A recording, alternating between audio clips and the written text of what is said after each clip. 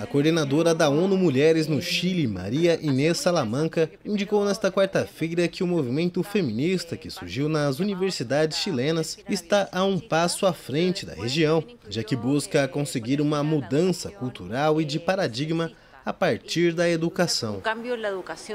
Salamanca ressaltou que, apesar de existirem movimentos similares na América Latina, as chilenas merecem destaque por exigir uma transformação na cultura e pedir que isso seja feito por meio de uma educação não sexista, o que para ela é uma ótima estratégia para alcançar tal mudança.